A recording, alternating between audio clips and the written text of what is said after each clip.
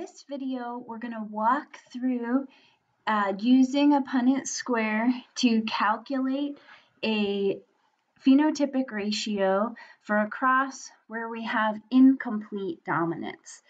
So again, it's always really important to be organized. As you can see, I've written myself a little key here on the side. So this is something you would have to figure out usually based on the story that you're given in a little genetic story problem.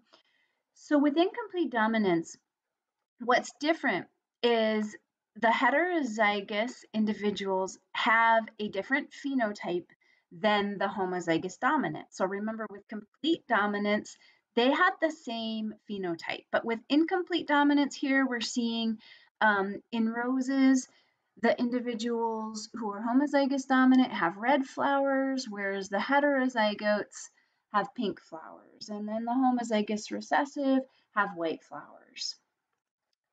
So I set this problem up over here on the left, and we started with true breeding parents. Mendel always started with true breeding parents. So I have a homozygous dominant individual who would have had red flowers and a homozygous recessive individual who would have had white flowers. Their progeny would have all pink flowers. They would all have received one big R, the dominant allele, from one parent and one little r from the other. They're all heterozygous. Because this is incomplete dominance, they would all have pink flowers. So now if we want to determine the ratio of phenotypes in their offspring, um, that would be a monohybrid cross. So we would be crossing two of these heterozygotes.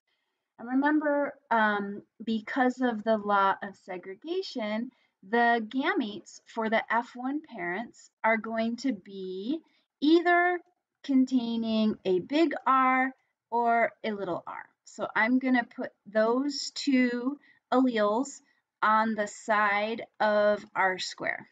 And then when we fill out the Punnett square, remember that it's like we are looking at all the different possibilities for fertilization. So we could have a big R sperm fused with a big R egg. We could have a big R sperm um, fertilize a little R egg. And we just populate our square with the diploid genotypes of all of their possible offspring, just looking at this one trait, this flower color trait. And so um, what we see here is not the three to one ratio of phenotypes that we expected to see, that we would see if it was a um, typical monohybrid cross with complete dominance. Instead, what we have is a one to two to one ratio of phenotypes where we have one individual with red flowers.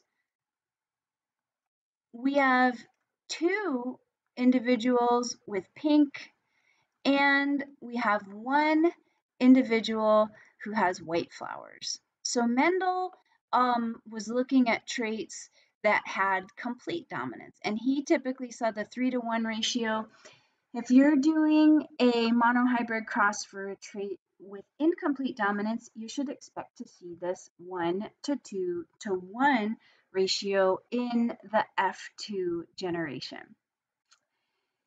Thanks for watching.